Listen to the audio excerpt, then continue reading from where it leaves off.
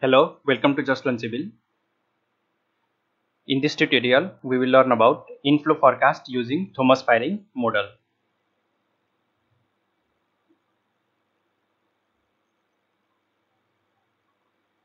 Inflow discharge in the river is required for planning, management and operation of the water related project. But the discharge data at a particular location may be limited or may not be available for all the time. Suppose we need to create a dam here in this river and we need the discharge data of this place but of the future date for our planning and management. But we don't have the data. So what we do is prediction of the data and we take help of the previous available data at this station. That is the historical data. So it is required to use the historical inflow data to extend the inflow. Now it is also required to preserve the historical characteristics. Historical characteristics in terms of statistics means mean median standard deviation. These characteristics should be preserved. Like if the mean of the previous existing historical data was x bar then the new predicted data or simulated from the Thomas Fiering model should also be somewhere near about this x bar and same for the standard deviation. This will help us to know that the prediction is in the right direction. You can see this figure here the mean of every month is almost same this is for the predicted and this is for the observed data previously observed data so from the observed data you find one mean and standard deviation from the predicted data you find one mean and standard deviation now this is the observed data and this is the predicted so when you take the mean of this data, you should observe something like this, almost similar for every month. That is the historical data is historical characteristics has been preserved. Thomas Fiering model here the flow is predicted using Thomas Fiering model. It is auto-regressive model. Auto-regressive means suppose we have Q discharge 20 30 40 20 10 now what we do is lag this discharge by time 1 t minus 1 we get 20 here 30 40 30 so this will be here 20 and 10 here. Now we get this q t minus 1 now when we draw a graph at x-axis and y-axis if we put time here and q here we will get something like this curve. That is the curve of the discharge. But instead of doing that what we will do is put q here and q minus 1 here. So we uh, what we are doing is regression of the same data on itself.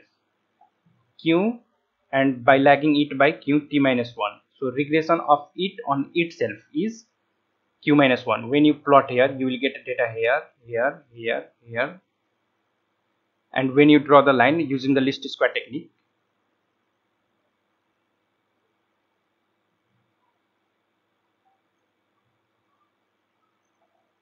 when you draw the line using the least, least square technique you will get a straight line. That is the regression line. Regression of q on itself simply by lagging by t minus 1 so it is auto regression model. It can also be regarded as stochastic model. Stochastic model because there is a parameter used in this equation which is random variable. And stochastic means use of random variable this is the random variable we abstract from this bell shaped curve which is nothing but the normal curve where mean is 0 and standard deviation is 1 so from this we will extract the z value. Now in this equation you can see i and j plus 1 this is the suppose you make a table where this is year 2001 2002 2003 2004 2005 and here you will write month january february march april may june up to december. This is december january suppose this is 2001 2 3 4 2005 then in this case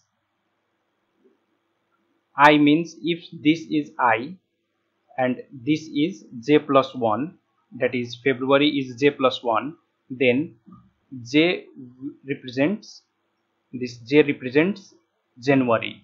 So this is j plus 1 then this is j. January is j and in the similar manner it will proceed forward. So j plus 1 means if j is January then j plus 1 is February. If i is 2001 then i plus 1 will be 2002 but here we have only i and j plus 1 so january and february we will take the data of two months.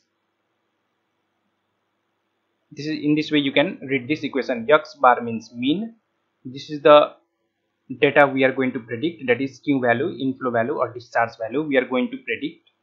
So here in the earlier example 01 and here january february. We need to predict for february. For that, we need to already know the value of xij which is the flow of January. It must be known. Then only we can predict the future value. This is also the mean of j. j means here we already say it is January. So mean of these all Januaries will be written here. That will be here. This is for the random variable this is the standard deviation. This is the coefficient.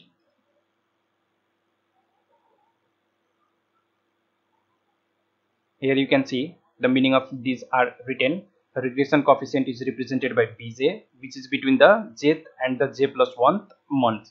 If jth month is january and this is february then january and february. Extracted from the historical data. And updated as we keep on predicting for the new data. And this is lag 1 serial correlation coefficient. Lag 1 means it is lagged by q. Just say like q, q t minus 1. we are lagged by only t minus 1. If it is t minus 2 then lag 2 and so on. Here only t minus 1 so it is lag 1 serial correlation coefficient. You can find mean using this formula standard deviation, regression coefficient and lag 1 correlation coefficient. n is the number of observations. Now we will use a software where we will have two parts. One simulation and another is optimization. For optimization part there will be n iterations. We need to enter the number of iterations we want to carry out. The software will carry out the iterations and it will find out the best r square value it will find out two things one Nash efficiency and r square but based upon the best r square value it will find the best model and that model will be accepted as the best model after running n times.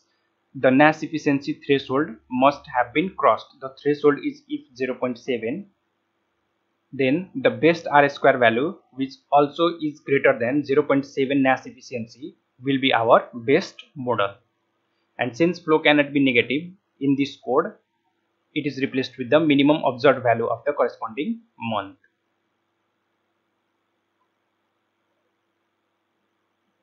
this is the flowchart of the program you will input the observed data that is calibration data and validation data then calculate the parameters using the bottom of the programs then generate random variables predict the flow. Up to this much it is simulation. Now for iterations or optimization you need to enter the number of iterations you want to carry out. Longer the iterations more the time it will take. And then it will calculate the parameters for each iterations generate the random variables then predict the flow and keep on doing so until the number of iterations ends then it will find the best model within that n number of here 1000 is written but it is n number of iterations.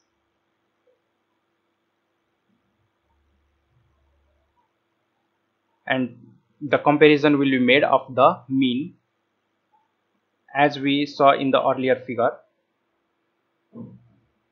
Here the comparison of the mean shows almost equal value for the predicted and the observed so it is okay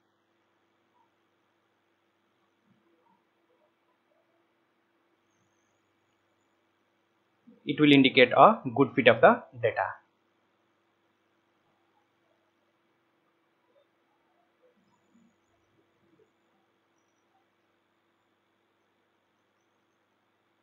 Now let's see how it works in the software. You can go to this link click on repositories. It will be also given in the description link. Click on here go to code and download it as zip file. Now when you extract it and then open it you go to the software folder. Here you will see csay reservoir. Click it double click to open. This is the interface. You must have this dot network installed or higher. Model thomas Fiering model. Proceed.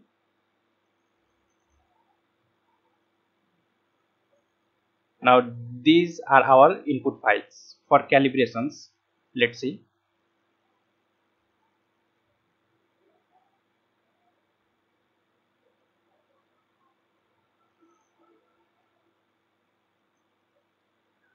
You have to enter your data here.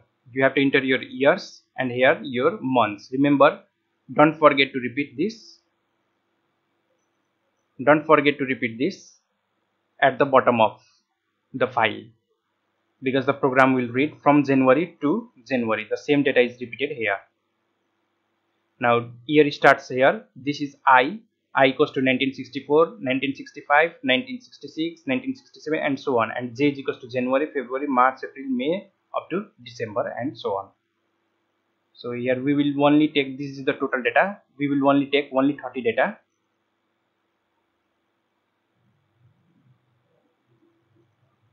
Thirty for calibration and remaining for validation.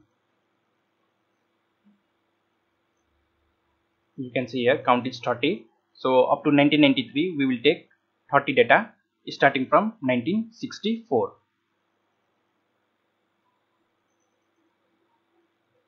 In the software,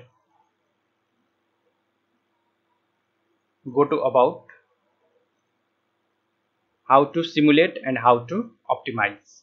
Enter the number of years in the calibrations. So in the calibrations we will enter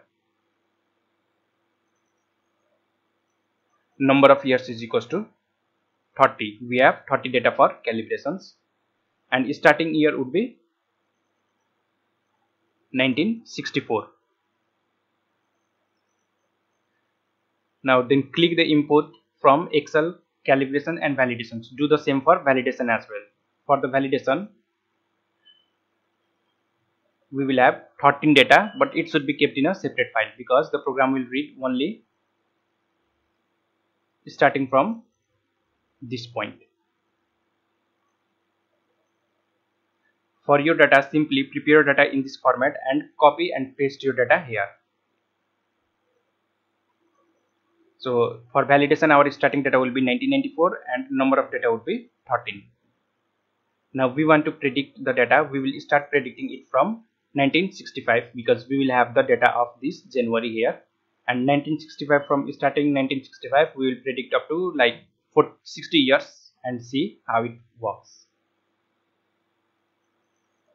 then once you import the data enter how much you want to predict then click on the parameters calculate parameters then generate the random variable predict the flow plot the graph that is the simulation part for the optimization part enter the number of here enter the number of iterations then click on optimization after optimization, click on use of Z optimized and then plot the graph. That is the optimization part. Let's start here. We have 30 data starting from 1964 you can see here the calibration data. Now import calibration. Only 30 data will be imported. If the data is bigger it might take a little longer. Now you can see here the data has been imported successfully similarly for here number of data is equals to 13 1994 the data ends here 1993 you can also use any data which you have available.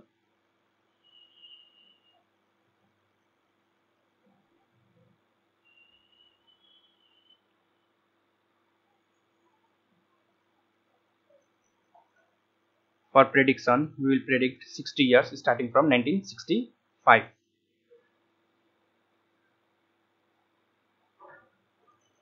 then here you are asked to enter the December data of 1964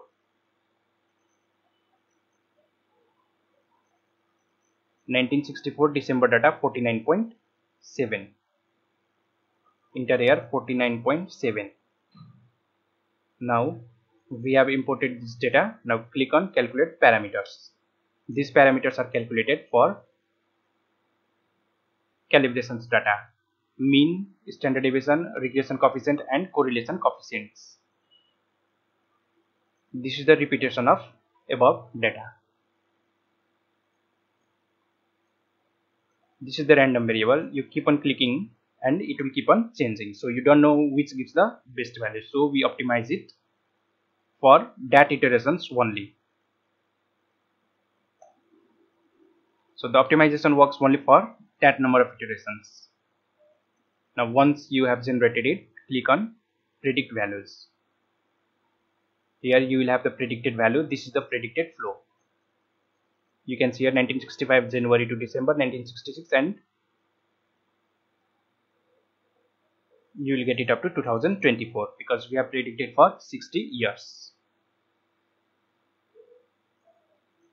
Now plot the graph. This is the graph. You can see here the dotted blue line represents the predicted data starting from 1965. It is the observed data. And then dotted red represents the validation. You can see here the Nash efficiency 0.92 up to the calibrations only. Up to validations 0.8753 you can see here calibration. The calibration part only the validation part only. The base has been captured some peaks has been captured some has not been captured. But the efficiency is okay. And calibration and validation part. Then all part. Now to improve this efficiency if this is not the best then you can get a slight improvement in this efficiency or even maybe more improvement based upon the generated random variable. Now let us optimize.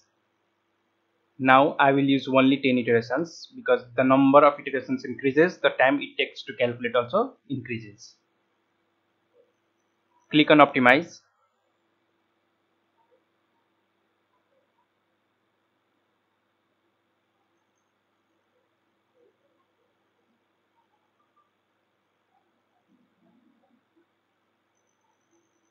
optimization completed for iterations is equals to 10 best model found.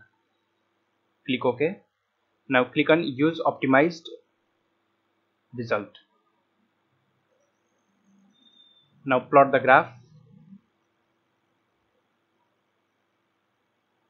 So for the given iterations you got the optimized result.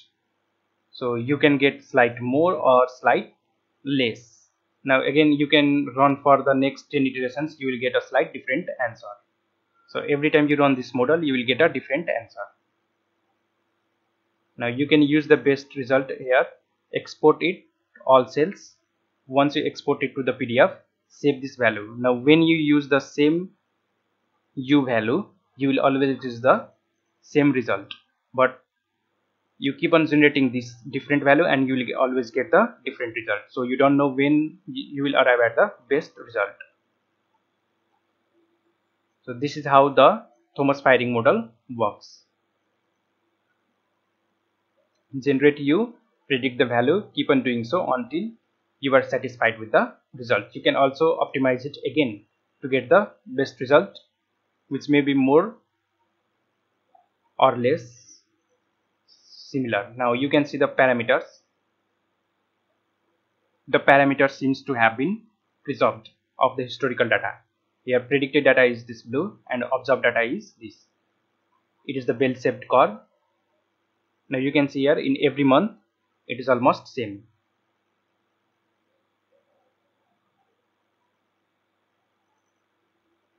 Slight difference here so this is how you can use the Thomas Fiering model and the software to calculate it. Prepare the data input the data and then you will get the result. Now you can export it as well export this as well and save it for your result. Save the best result and you can use it always by copying and pasting the result here. Only you need the u values. Remaining will be calculated itself so thank you for watching. Please subscribe like share and comment for any further queries. And please click on the bell icon to get the notification